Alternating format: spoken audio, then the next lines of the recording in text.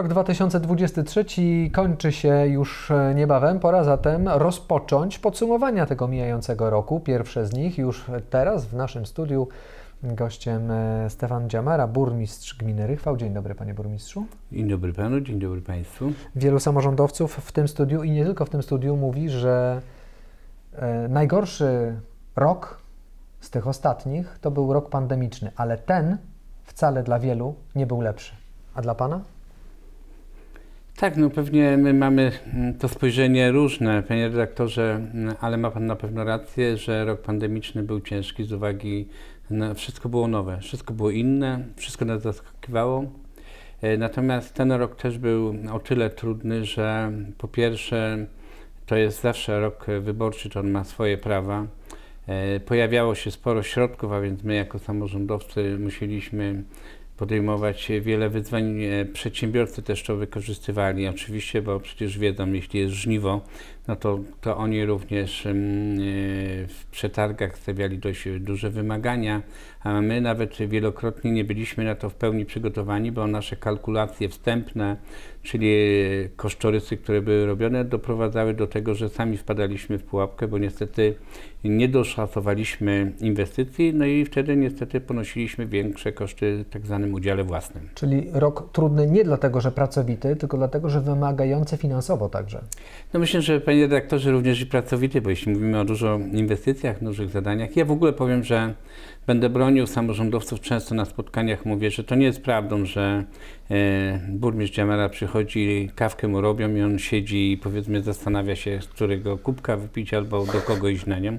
Tylko to jest niestety ciągła pogoń i ciągłe układanie tego wszystkiego. Czyli to nie jest tak, że w samorządach odnajdzie się ten, który myśli, że powiedzmy tam jest wszystko od początku, od 7.30 do 15.30 pokładane, tylko tam trzeba wykazywać się własnymi inicjatywami i wie, że y, i ja przynajmniej tak oczekuję, że moi pracownicy tak robią. Jeśli tak robią, to znaczy, że dzisiaj na spotkaniu wigilijnym powiedziałem, że jesteście kochani, bo sporo zrobiliśmy. To był dobry rok. To był dobry rok, mówi Stefan Dziamara, to bardzo się cieszymy z tego. Wspomniał Pan wcześniej o roku wyborczym, bo to też był rok, jak Pan e, zauważył, wyborów i to różnych wyborów. Mamy nowy rząd, rząd Donalda Tuska. Czego się Pan po nim spodziewa? Tak, no oczywiście każdy rząd, każdy mm, jakby władza, która jest, ma swoje preferencje i pewnie swoje je stosuje. My w samorządach e, zupełnie inaczej na to patrzymy. Ja często podkreślam na wielu spotkaniach i o tym mówię, że jestem zwykłym menedżerem jakiejś małej firmy czy większej firmy, która po prostu, której rolą jest, czyli moją rolą jest, żeby to, co czynię, było efektywne. I ja oczywiście mam swoje preferencje i nie ma wątpliwości, że powiedzmy politycznie jestem jednoznacznie określony, ale powiedzmy dla mnie najważniejsze jest to, żeby mieszkańcy gminy i miasta Rychwał właśnie każdej sytuacji skorzystali jak najwięcej. Czyli dzisiaj mówię w ten sposób, że kiedy byliśmy w poprzednim układzie, to robiłem wszystko, żeby pozyskać jak najwięcej środków. Oczywiście miałem swoje uwagi i wielokrotnie o nich mówiłem i również dzisiaj mówię, że rolą e, moją e, jest to samo. Natomiast gdybym miał e, tak wymieniać jakieś kwestie, które są wyjątkowo albo bardzo istotne, to powiedziałbym po pierwsze, że dzisiaj sytuacja w samorządach finansowo jest bardzo trudna. To wynika chociażby z tego, że e, sporo środków z Polskiego Ładu e, jako samorządy przerabialiśmy. W samym Rychwale przecież budowa oczyszczalni ścieków, budowa e, OSP, e, budowa inwestycji drogowych. Jeśli ja w tym roku na inwestycje drogowe wydałem ponad, e, albo inaczej kilkanaście milionów złotych, żeby dzisiaj tutaj tak nie liczyć do Y, dokładnie, no to są duże pieniądze. No to, ty, to tylko się cieszyć, panie I ja się z tego cieszę. Natomiast, natomiast, panie redaktorze, to miało ogromny wpływ na to, że musieliśmy z własnych środków, czyli tak zwane środki, które gmina musiała na to mieć, one zostały maksymalnie wykorzystane. I dzisiaj moja pani skarbnik często się na mnie bardzo denerwuje, ponieważ my mamy kłopoty ze spięciem budżetu. I co, Ale to nie do pana burmistrza i mówi, panie burmistrzu, nie budujmy. Nie remontujmy. E, pani, pani skarbnik tak mówi, natomiast no, niestety trafiła na gościa, który ma zupełnie inne podejście ja myślę, że e, należy do tych ludzi, że nie boję się mówić, że powiedzmy też jest taka instytucja jak kredytowanie, czy powiedzmy wypuszczenie obligacji, czy jeszcze inne formy. Ale ja i tak jestem przekonany, panie redaktorze, że to nie tylko rychwał, że 90% samorządów, jeśli nie więcej, jest w podobnej sytuacji. I oczekuje Pan od rządu, że co, dołożą?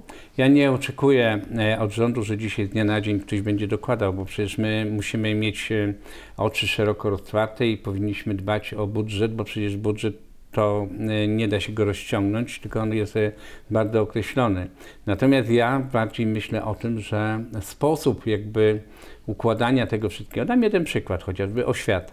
Jeśli ja do oświaty, panie redaktorze, na 16 milionów dokładam 8 milionów swoich, więc pytam się, czy prawdą jest to, że to jest tylko zadanie rządowe? Nie. Więc my uczestniczymy 50 na 50. No to ponawiam moje pytanie, to znaczy oczekuje Pan od rządu, że dołoży pieniądze, pieniędzy, choćby jeśli chodzi o yy, subwencję Po pierwsze, cały czas jeśli chodzi o oświatę, to mówimy tak i oczekujemy tego, że E, często pojawia się takie określenie, że samorządy chętnie będą, e, wezmą na garnuszek, czyli infrastrukturę, wszystko co jest związane z infrastrukturą, natomiast na przykład, żeby w kwestiach rządowych pozostały czynnik ludzki. Oczywiście to jest bardzo skomplikowane i wtedy nie będzie bólu, bo jak na przykład w Rychwale jest sześć szkół, e, ja, obecny rząd jasno precyzował pewne kwestie i mówił, że małe szkoły są cudowne. Okej, okay, ja się też z tym zgadzam. Niech one będą. Ale proszę sobie wyobrazić, że dziecko, osobą dziecko w szkole, gdzie jest 20 osób w klasie i dziecko, gdzie i mm, wydatki y, samorządu na dziecko, gdzie powiedzmy jest 5 osób w klasie, są zupełnie różne. I to powoduje, że my powiedzmy do, dokładamy takie ogromne kwoty. I myślę, że jakby na to należy spojrzeć. To jest tak pierwsza rzecz, czyli kwestie zrozumienia nas i faktycznie spojrzenia, czyli wskaźniki, które nas obligują do pewnych reguł i one na przykład już pewnie zablokują nas za chwilę, że być może dojdzie i w tej chwili wejdzie KPO i my nie będziemy w stanie faktycznie realizować inwestycji, bo nie pani księgowa mi powie, że nie jest niemożliwe jest, tylko po prostu e, Regionalna Izba Obrachunkowa, ja nie dostanę pozytywnych opinii. Czyli tu o tym my mówimy, ale to mówię w imieniu moich kolegów samorządowców, nie tylko z powiatu końskiego, ale z całego kraju, bo to jest system, który jest wszędzie, czyli to jest pierwsza rzecz. Druga rzecz, to wydaje mi się, że jeśli powiedzmy dostajemy środki, to my powinniśmy uczestniczyć w jednakowej, e, czyli reguły gry powinny być dla każdego jednakowe. A nie są dzisiaj? E, ja powiem tak, dam taki przykład, który wywoływał sporo emocji. Ja daję go na przykładzie gminy Rychwał. E, ja jestem człowiekiem, który znam spółdzielnie produkcyjne i PGR-y. Czyli w Rychwale nie było PGR-u, ale była spółdzielnia produkcyjna. Moi sąsiedzi dostawali ogromne pieniądze dlatego, że mieli PGR-y, ja nie dostałem ani złotówki. Czyli uważam, że to powinno być bardziej klarowne. I myślę, że to jest jeden z tych elementów, żebyśmy powiedzmy e, mówili, czyli my zawsze będziemy się cieszyć, jeśli otrzymujemy środki, bo one są super ważne i będę dziękował każdemu. Ja takim e, sztandarowym elementem, który chwalę się powiedzmy w wykonaniu poprzedniego rządu, to były centra usług społecznych. Ja pozyskałem ogromne pieniądze. W gminie Rychwał my realizujemy zupełnie inaczej politykę socjalną w stosunku do seniorów i nie tylko dzięki temu, że udało mi się stworzyć ZUS. I to jest e, taki, powiedziałbym, sztandarowy program prezydenta Dudy i ja go chwalę i będę zawsze mówił o nim pozytywnie. Centra usług e, społecznych, a co jeszcze ważnego i e, potrzebnego wydarzyło się w minionym roku, w mijającym roku w gminie Rychwał? Panie redaktorze, no ja myślę, że mm, nie mogę zapomnieć, to bardzo zabiegałem o te środki i wszędzie e, udawałem się, żeby pozyskać, to jest kwestia modernizacji stacji uzdatniania wody, e, przepraszam, e, budowy oczyszczalni ścieków. To jest inwestycja, która my mieliśmy jedyną praktycznie w rejonie tutaj naszym biologiczną oczyszczalnię Lemne, która była w dawnych latach. Ja nie chcę wracać do samego pomysłu, bo myślę, że powiedzmy jednak ktoś to nie do końca poprawnie e, przemyślał. Natomiast one przetrwały określone lata.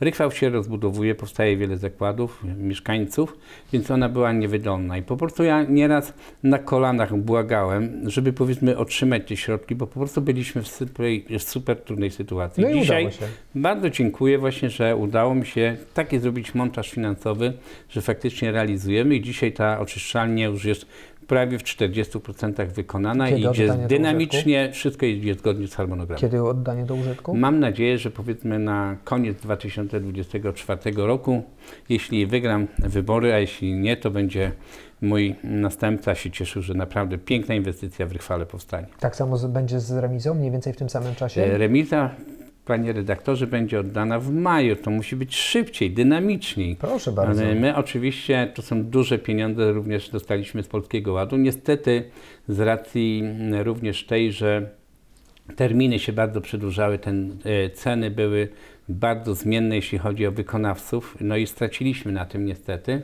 E, Mam tutaj żal do wiele, wielu osób, mówię mm, w zakresie tego przygotowania, ale tego nie dało się zmienić, e, oczywiście tak, żeby sobie tak powiedzieć, ale e, remizę oddamy na pewno, według mojej oceny, na koniec maja. Będzie to bardzo nowoczesny obiekt. Poza tym, że będą się wspaniale cieszyć nasi druhowie strażacy, to super będą się cieszyć młodzi ludzie, którzy są w orkiestrze Quantum, bo tam jest ich miejsce, a przecież mamy najpiękniejszą orkiestrę, orkiestrę dentą w rejonie naszym. Remiza i oczyszczania ścieków to te dwie najważniejsze inwestycje i plus drogi pewnie w 2023 No Oczywiście drogi, roku. tak jak wspomniałem, to jest ponad e, kilkanaście milionów złotych, to są ponad 10 kilometrów dróg.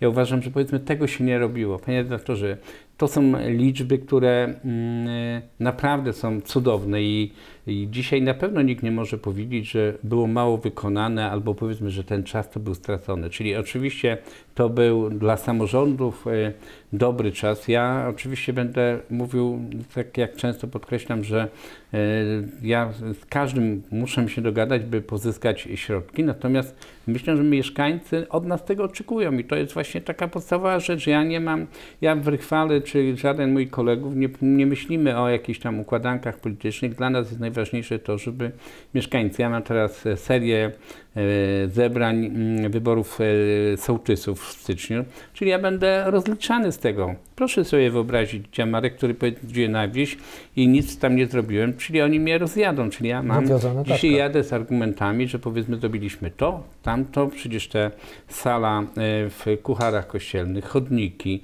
czyli my mamy czym się pochwalić, natomiast oczywiście mamy też swoje problemy i dlatego po raz kolejny apeluję, że dzisiaj władza musi widzieć samorządy jako partnera i musi znaleźć rozwiązanie, żebyśmy my nie jakby stanęli w miejscu, bo po prostu jeśli nie zostanie zmieniony system finansowania samorządów, no to w pewnym momencie przy środkach z KPO, które będą, możemy mieć problemy żeby je zrealizować, a my na przykład w Wielkopolsce tym bardziej to odczuwamy. Bo chociażby dzisiaj mamy transformację naszego rejonu konińskiego i mamy tych środków jeszcze więcej.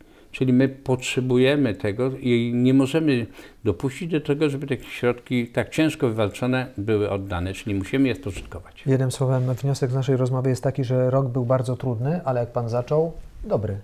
Tak, ja będę mówił, że on był dla samorządu, dla mieszkańców na pewno bardzo dobry i on był dlatego, że powiedzmy udało się, bo przecież z budżetu naszego, z naszych podatków my tego byśmy nie zrobili, a więc to nie ma e, wątpliwości. Natomiast też to jest ogromna zasługa i przy tej okazji, jeśli Pan pozwoli, to bardzo serdecznie e, podziękuję, jeśli podsumowujemy rok moim pracownikom, moim radnym, że my na sesjach my oczywiście bardzo mocno się spieramy, czyli na komisjach dochodzi do bardzo ostrej wymiany zdań, natomiast na sesjach staramy się jakby zrozumieć, że jeśli postawiliśmy sobie cel, to znaczy, że ten cel jest ok i nie możemy powiedzmy dzielić włosu na cztery, bo po prostu tego nie ma sensu. I dzisiaj e, życzę sobie pewnie też, żeby właśnie w kolejnych radach e, właśnie tak było, że u nas w 99,9 uchwał jest podejmowanych jednomyślnie. Ktoś powie, to po co oni przychodzą? To właśnie po to przychodzą, że my na komisjach mocno rozmawiamy. Natomiast kiedy już jest sesja, wyjaśniamy sobie i powiedzmy stawiamy cele następne. I tak powinno być. Trzymam kciuki, Między. że w, w następnym roku też tak będzie. Podsumowanie roku 2023. Stefan Dziamara, burmistrz Chwała. Bardzo dziękuję za rozmowę. Dziękuję panu, dziękuję państwu. Ja też dziękuję. Do zobaczenia w kolejnym programie.